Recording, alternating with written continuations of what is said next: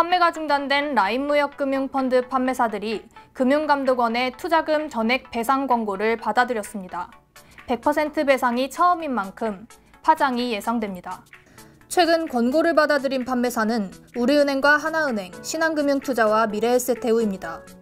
이들 회사는 지난 27일 이사회를 열고 라임 사모펀드 분쟁 조정안 수용을 최종 결정했습니다.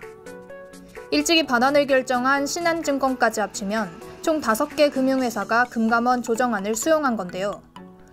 앞서 금감원 분쟁조정위원회는 라임펀드 판매사들이 투자자들에게 원금 전부를 돌려줘야 한다고 결정했습니다. 라임펀드 판매가 착오에 의한 계약 취소에 해당한다고 판단했기 때문입니다.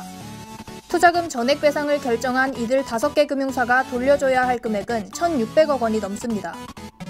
대외적으로 이들은 투자자 보호와 신뢰 회복, 금융기관으로서의 사회적 책임 이행을 위한 결단이라고 설명했습니다. 그러나 판매사들의 권고한 수용 여부를 향후 경영 실태 평가에 반영하겠다는 금융당국의 방침이 전액 배상 결정에 영향을 미쳤다는 분석도 나옵니다. 업계에선 이번 전액 배상 사례가 향후 다른 펀드 사고에도 적용되는 것 아니냐는 우려가 있습니다.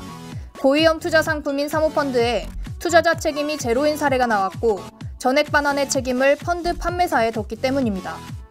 라임 펀드 이외에도 옵티머스 펀드, 디스커버리 펀드를 포함해 많은 사모펀드 사건이 검찰 수사와 금감원 조사 결과를 기다리고 있는 만큼 영향이 주목됩니다. 폴리뉴스 강민혜입니다.